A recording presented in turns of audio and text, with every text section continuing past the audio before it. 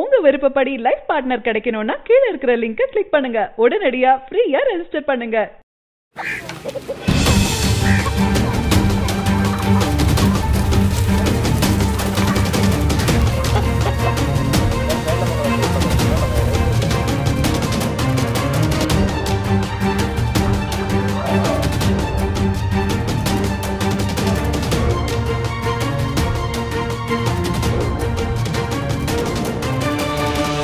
வணக்கம்ண்ணா ஆ வணக்கண்ணா இப்போ நம்மளுடைய பெயர் நம்ம பண்ணையுடைய லொக்கேஷன் எங்கே அமைஞ்சிருக்குன்னு சொல்லுங்க. என் பேர் மாரிமுத்துங்க. சரிங்க. நாமக்கல் சேந்தமல் ரோடில் ஜங்ஷன் பக்கத்தில் சரிங்க. இதுக்கு பேர் அங்கு தோட்டம்னு வச்சுருக்கோம். அங்கு தோட்டம். ஸோ இப்போ நம்ம தோட்டத்தில் என்னென்ன ப்ரீட் நான் பண்ணிட்டு இருக்கீங்க ஆரம்பத்தில் வந்து நாட்டு பசு மாடு வாங்கினோம் ஒரு மாடு வாங்கினோம். அப்புறம் மறுபடியும் பத்துலேயும் பால் பத்துலேன்னு சொல்லிட்டு ரெண்டாவது மாடு வாங்கினோம். சரிங்க. நம்ம வீட்டு குழந்தைங்களுக்காக வாங்கினோம். அப்புறம் அப்போ நம்ம சன்னோட ஃப்ரெண்ட்ஸ் சர்க்கிள் எல்லாம் குழந்தைங்களுக்கு கேட்டாங்க. ஸோ அதுக்காக ரெண்டாவது மாடு வாங்கினோம். ஓகேண்ணா. இப்போ அது நாட்டு மாட்டு பால் வந்து கிலோ அந்த லிட்டர் நூறுரூவாய்ன்னு கொடுத்துட்ருக்கோம் லிட்டர் நூறுரூவான்னு எங்கள் குழந்தைங்களுக்கு போக மீதி இருக்கவங்களுக்கு சரி. அவங்க வீட்டிலே வந்து வாங்கிக்கிறாங்க. இப்போ இப்போ எத்தனை உருப்படிங்கண்ணா இருக்குது நாட்டு மாடு? ரெண்டு மா ரெண்டு மாடு இருக்கு. ரெண்டு மாடு. தான் இருக்குது ஸோ இப்போ இந்த நாட்டு மாட்டு பாலை வந்து நீங்கள் சொசைட்டிக்கோ இல்லை எங்கேயும் ஊற்றுறது கிடையாது? ஆஹா அறுபத்தி இந்த சர்க்கிளில் நீங்கள் டேரெக்டாகவே சேல் பண்ணிக்கிறீங்க. நேரடியாக நம்ம வீட்லேயே வந்து வாங்கிட்டு போயிடுறோம் நேரடியாக வீட்டிலே வந்து வாங்கிட்டு போயிடுறாங்க. இப்போ நாட்டு மாடு ஒரு நாளைக்கு எத்தனை லிட்டர் நான் பால் கறக்கும்? காலையில் மாலை மாலை. ஒரு ரெண்டு சேர்த்து தினம் ஒரு பத்து லிட்டர் வரும். தினம் ஒரு பத்து லிட்டர் வரும். காலையில் ஆ சேர்த்து. காலையில் மாலை ரெண்டும் ஆ. சேர்த்து சரி ஓகேங்க. ஒரு பத்து லிட்டர் டெய்லி சேல் ஆகிடுது ஆயிடுது ஆயிடுது. சரி ஓகேங்க. இப்போ மா நாட்டு மாட்டை தவிர வேற என்னென்ன இருக்குது கோழி இருக்குது நாட்டுக்கோழி இருக்குது சரிங்கண்ணா செம்மறி ஆடு இருக்குது செம்மறி ஆடு இருக்குது செம்மறி ஆடு நாட்டுக்கோழி இருக்கு. ஆமாம் ஸோ இப்போ இந்த நாட்டுக்கோழி என்ன விலைக்கு நான் கொடுத்துக்கிட்டு இருக்கீங்க? என்ன மாதிரியான ரக கோழிகள் இதெல்லாம்? நாட்டுக்கோழி வந்து பெருஞ்சாதின்னு சொல்கிறாங்க பெருவடைன்னு சொல்கிறாங்க ஒரு சிலது வந்து சிறுவடை இருக்குது ரெண்டும் கிராஸ் ஆகி இப்போ ஒரு இது ஒரு நல்ல ப்ரீடாக இருக்குது இடவிட்டு மாதிரி ஒரு ப்ரீடு வருது. இப்போ நம்ம அதுக்கு சாப்பிட்றதுக்கு நல்லா இருக்குது ஓகேங்கண்ணா சேவல் வந்து பெருஞ்சாதி. ஆமாம் விடை வந்து எல்லாம் கலந்துருக்கு. கலந்துருக்கு. சரி ஓகேங்கண்ணா இப்போ என்ன விலைக்கு நான் கொடுத்துட்ருக்கீங்க இப்போ நாங்கள் வந்து க்ளீன் பண்ணி கொடுத்தோம்னா கிலோ ஐநூறுரூவாய்க்கு கொடுக்குறோம். உயிரிடை போட்டு க்ளீன் பண்ணி கட் பண்ணி கொடுக்குறது. சரிங்கண்ணா அப்படியே பிடிச்சிட்டு போகிறாங்கன்னா நானூற்றி முப்பது ரூபாய்க்கு கொடுக்குறோம். நானூற்றி முப்பது ரூபாய்க்கு. இப்போ எப்போ வந்து கேட்டாலும் கொடுப்பீங்க? ஞாயிற்றுக்கிழமை மாத்திரம் கொடுக்குறோம். சண்டே மட்டும் தான் கொடுக்குறீங்க. சண்டே மாத்திரம் இருந்தால் கொடுப்பேன். ஏன்னா அது அதிக எண்ணம் ப்ரீடு அதிகம். இப்போ தான் கொஞ்சம் கொஞ்சமாக இம்ப்ரூவ் ஆகிட்டு இருக்கு இப்போ எத்தனை உருப்படினா இருக்குது நம்ம தோட்டத்தில்? இப்போ ஒரு ஆவரேஜாக ஒரு இரநூறு இருக்கும். இரநூறு கோழி இருக்குது ஸோ நம்ம தோட்டத்துடைய சுற்றளவு எவ்வளோண்ணா மொத்தம்? ஒரு மூணு ஏக்கர். மூணு ஏக்கர். மூணு ஏக்கர்ல இந்த இரநூறு கோழிகள் இருக்குது ஸோ இதுக்கான தீவன செலவு இதுக்கான கொட்டகை செலவுலாம் எவ்வளோ போட்டீங்க முதலீடு? இதுக்கு ஒன்றும் நாங்கள் பெருசாக முதலீடு ஒன்றும் பண்ணல. ஏன்னா ஏற்கனவே இது கோழி பண்ணை இருந்தது. சரிங்க. அது ஒரு ஆயிரம் ஆயிரத்தி இரநூறு ஸ்கொயர் ஃபீட் இருக்கும். அதுதான் எல்லாம் யூஸ் பண்ணிகிட்டு இருக்கிறோம். மற்ற எல்லாம் ஃப்ரீயாக ஓப்பனாக இருக்கிறதுனால அது அப்படியே அதே முதல்ல ஒரு ஏழு கோழியில் ஆரம்பித்தோம் ஏழு கோழியில் அது முட்டை விட்டு அதை ஹேட்ச் வந்து சேலத்தில் நம்ம ஃப்ரெண்டு ஒருத்தர் குமார்னு இருக்காரு. சரிங்க. அங்கே ஹேச்சரில் கொடுத்து ஹேட்ச் பண்ணிக்குவோம். ஓகேங்க. அப்படி தான் ஒவ்வொரு தடவை ஹேட்ச் பண்ணிருக்கோம் இப்போ கூட இப்போ நூறு முட்டை கொடுத்துருக்கோம் ஓ இப்போ ஹேட்ச் கோழிகளை வச்சு அடப்பறிக்க ஆஹா அடை வச்சு பண்ணுறதில்ல கொஞ்சம் வெளியில் ஹேட்ச் ஏன்னா அடை வச்சு பண்ணும்போது ப்ராக்டிக்கலாக அது காப்பாற்ற முடியல. முடியாது. கொஞ்சம் காப்பாற்ற முடியல. ஓகே ஆ. ஸோ அதனால் ரெகுலராக வந்து ஒரு ஒரு நூறு முட்டை ஆகும்போது கொண்டு போய் ஹேட்சில் கொடுத்துரும். ஓ அப்போ எத்தனை சதவீதம் நான் பறிக்கும்? நூறு முட்டை கொடுத்தீங்க ஒரு எயிட்டி பர்சன்ட் மேலே வரும். எயிட்டி பர்சன்ட் ஓகே ஓகே அது அந்த மெத்தடு எப்படி வைக்கிறங்க பொறுத்திருக்கு. அவங்க ஹேச்சரியில் சொல்லி கொடுத்தாங்க. முட்டையை வந்து இங்கேருந்து எடுத்து நான் இங்கேருந்து எடுத்துகிட்டு போவோம் ஆ. கொண்டு போய் ஃப்ரிட்ஜில் வந்து பிளாஸ்டிக் கெட்டி கண்டெய்னரில் சரிங்க. நம்ம பேப்பரோ அல்லது துணியை போட்டு அதில் ஒவ்வொரு லேயராக சுற்றி வச்சிரும். ஓ முட்டையை வந்து சுற்றி வச்சிடணும் துணி. அதாவது அது மேலே அப்படியே அடுக்கி வச்சிடணும். துணி கீழே துணி போட்டு துணி அல்லது இந்த பேப்பர் நம்ம டிஷ்யூ பேப்பர் போட்டு முட்டையை அடுக்கிட்டு அதுக்கு மேலே மறுபடியும் ஒரு லேயர் துணி போட்டு ஓஹோ. அப்படி ஆமாம்.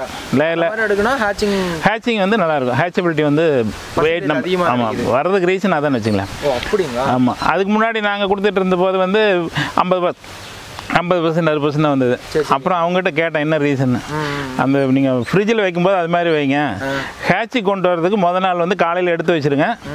ஒரு நாள் வெளியே வச்சுட்டு அனுங்க ஹேச்சிங் கொண்டு வாங்க அப்படின்னாங்க. ஓ. ஸோ அந்த மெத்தடில் கொண்டு போகும்போது ஹேச்சபிலிட்டி நல்லா இருக்கு. நல்லா இருக்கு. சரி ஓகே சூப்பர்ண்ணா இப்போ ஆடு தவிர வேற என்ன ப்ரீட்ண்ணா இருக்கு? இப்போ தான் செம்மலி குட்டி முதல்ல ஒரு ஒரு குட்டி ட்ரையலுக்காக செம்மலி குட்டி ஒன்று வாங்கினேன். பால் பால் கொடுத்து வளர்த்தணும். இப்போ அது ஒரு எட்டு மாதத்தில் ஒரு முப்பத்தி ரெண்டு கிலோ வந்திருக்கு. அந்த கடை அவங்க பார்த்துருப்பீங்க. எட்டு மாசத்துல முப்பத்தி ரெண்டு கிலோ வெயிட் வந்திருக்கு. ஓகேண்ணா.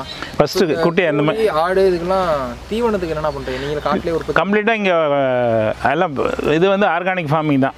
எதுவும் எதுவும் இதே பண்ணுறதில்ல என்னென்ன தீவனம் நான் கொடுக்குறீங்க ஆட்டுக்குலாம் ஆட்டுக்கு வந்து அதே தானே மேய்ஞ்சிக்கும் அங்கே அந்த பக்கம் இந்த கொடி இருக்குது நரி நரி நரி நரிப்பு தான் கொடி இருக்குது சரிங்க. வைக்கப்புல் இருக்குது அது அது சாப்பிட்டுக்கும். உள்ள சோள காட்டு காட்டுக்கு ஃப்ரீயாக காட்டுக்குள்ளே போய் மேய்ஞ்சிக்கும். புல் எல்லாம் ஒரு நேரம் அதில் ஒரு மூணு நாலு மணி நேரம் அதில் மேய விடும் ம் இப்போ ஆடு கோழி மாடு இந்த மூணு இருக்கு. மூணு. ஸோ இதுக்கு மாதம் நீங்கள் எவ்வளோ உழைப்பு போடுறீங்க? உங்களோட மெயின் பிஸ்னஸே இதானா? இல்லை வேற ஏதாச்சும் பிஸ்னஸ் சும்மா ஒரு பார்ட் டைம் மாதிரியா? இல்லை நான் வந்து ஆடிட்டராக ப்ராக்டிஸ் பண்ணிட்டு இருக்கேன் சரிங்க முப்பது வருஷம் எண்பத்தி நாலுலேருந்து பண்ணிட்டு இருக்கேன் சரிங்க.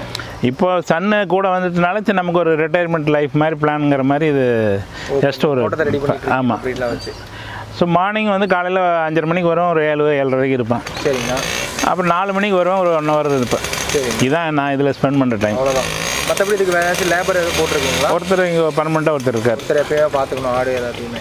அவர் ஒரு நம்பிக்கையான ஒரு ஒருத்தர் இருக்கார் அவர் எல்லாம் அவர் பார்த்துட்டார் சரி ஓகேண்ணா இதுக்கு மாத வருமானம் எவ்வளோண்ணா வருது உங்களுக்கு வருமானங்கிற மாதிரி பெருசாக அது நான் இன்னும் பார்க்கல. அது மாதிரி அந்த ஆங்கிள் இன்னும் ஓஹோ. அது ஆக்சுவலாக இது ப்ராஃபிட்டபிள் வெஞ்சுக்கிற மாதிரி இன்னும் பண்ணல. ஓஹோ. ஜஸ்ட் இப்போ தான் செட் பண்ணிட்டு இருக்கீங்க. ஆமா. வீடு இன்க்ரீஸ் பண்ணிட்டு இருக்கீங்க. பெரிய லெவலில் ஆமாம் ஒரு இன்ஃப்ராஸ்ட்ரக்சர் வருதா இப்போ பண்ண முடியுதா அப்படிங்கிறது ஃபஸ்ட்டு வந்து இந்த ஒரு வருஷம் இப்போ ஒரு ஏழு குட்டி செம்பளி குட்டி இருந்தது. ஓகேண்ணா. இப்போ தான் வந்து இப்போ ஒரு அறுபது குட்டி வாங்கியிருக்கான். அறுபது குட்டி வாங்கியிருக்கீங்க. எல்லாம் கடா இப்போ அறுபது குட்டி கடா குட்டி வாங்கியிருக்கான். சரிங்க. ஸோ இது ஒரு டூ மந்த்ஸ் வளர்த்தனோம்னா எப்படி என்ன அடுத்து என்ன ஸ்டேஜ் வருதுன்னு பார்த்துட்டு அப்புறம் இனிமேல் தான் அது கமர்ஷியலாக கொண்டு போகணும். ஓகேண்ணா இப்போ நீங்கள் கோழியும் சரி ஆடும் சரி ஒரு சின்ன லெவலில் ஆரம்பிச்சு அதை அப்படியே இன்க்ரீஸ் பண்ணிட்டே இருக்கீங்க. ஆமாம் கொஞ்சம் கொஞ்சமாக பண்ணிட்டு வந்து எத்தனை வருஷத்துக்கு முன்னாடி நீங்கள் அந்த ஏழு குஞ்சா வாங்கி இப்போ இரநூறு இது இப்போ இது மூணாவது வருஷம் அது தேர்ட் இயர் மூணு வருஷம் ஆயிடுச்சு பெருக்கிறதுக்கு ஆமாம் அதே மாதிரி ஆடு இப்போ வாங்கி விட்டுருக்கீங்க. இப்போ தான் ஆடு ஃபஸ்ட்டு ஒரு குட்டி வாங்கினேன். அப்புறம் ரெண்டு ரெண்டு குட்டியாக வாங்கி ஒரு குட்டி வாங்கி முதல்ல பால் மாத்திரம் கொடுத்து வரணும் அதாவது ஆக்சுவலாக என்னென்னா அந்த ஃபஸ்ட்டு பா மாட்டில் இருந்த பால் வந்து சர்ப்ளஸாக இருந்தது. சரிங்க. ஸோ அது வந்து சொசைட்டி கொடுக்கணும்னு சொல்லிட்டு அதுக்காக ஒரு குட்டி வாங்கினேன். ஓ. அதுக்காக ரெண்டு குட்டி வாங்கினேன். சரிங்கண்ணா அந்த செம்பிள் குட்டி வளர்த்துனது தான் இந்த இந்த இப்போ இது. அப்போ எந்த ஒரு ப்ரீடுன்னு எடுத்துக்கிட்டாலுமே நம்ம வந்து ஃபார்மை டெவலப் பண்ணுறதுக்கு குறைஞ்சது ஒரு மூணு வருஷம்னாச்சும் ஆகும். மினிமம் ஆகும். அப்போ தான் நம்ம புரிஞ்சுக்க முடியும். அதே மாதிரி கோழிக்கெல்லாம் ஆமாம் அதுக்கு கோழிக்கெல்லாம் நான் தடுப்பூசி அதெல்லாம் போட- எல்லாம் கம்ப்ளீட்டாக இயற்கை தான். எதுவும் வந்து ஒரு தடுப்பூசி கூட எதுவும் தடுப்பூசியே போடணும். கோழிக்கெல்லாம் தடுப்பூசியே போட மாட்டோம். ஓகேங்கண்ணா. இப்போ அங்கேருந்து ஹேச்சரிஸ் எடுத்துகிட்டு வந்து ப்ரூடிங் போடுவீங்களா? அவன் ப்ரூடிங் போட்டுருவோம் லைட் போட்டு போட்டுருவோம். ஓகேண்ணா. எத்தனை நாள் ப்ரூடிங் போடுவீங்க? அது வந்து கிட்டத்தட்ட ஒரு ரெண்டு வாரம். ரெண்டு வாரத்துக்கு ப்ரூடிங் போட்டுருக்கீங்க. லைட் போட்டு விட்ருவோம் சரிங்க. போட்டு கருப்பட்டி தண்ணி மிளகு ஜீரகம் தான் அதுக்கு இனிஷியலாக ஓகே ஓகேண்ணா.